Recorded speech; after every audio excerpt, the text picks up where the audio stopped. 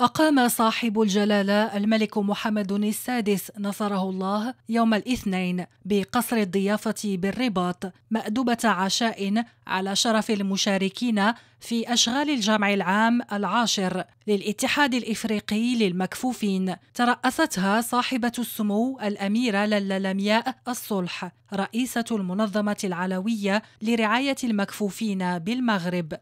حضر مأدبة العشاء رئيس مجلس النواب رشيد الطالب العالمي ورئيس مجلس المستشارين النعمة ميارة ووزير الشؤون الخارجية والتعاون الإفريقي والمغاربة المقيمين بالخارج ناصر بوريطة ووزير التربية الوطنية والتعليم الأولي والرياضة شكيب بن موسى ووزيرة التضامن والإدماج الاجتماعي والأسرة عواطف حيار ورئيسة المجلس الوطني لحقوق الإنسان أمينة بوعياش. كما حضر مأدبة العشاء أعضاء آخرون بالحكومة والوزيرة المنتدبة لدى وزير الصحة والشؤون الاجتماعية بالغابون فرانسواز ماكايا والمندوبة العامة للحماية الاجتماعية والتضامن الوطني بالسنغال أمينة سو وعميد السلك الدبلوماسي الإفريقي سفير جمهورية الكاميرون بالمغرب محمد يوسف إلى جانب عدد من السفراء الأفارقة المعتمدين بالرباط والمندوبين بالاتحاد الإفريقي للمكفوفين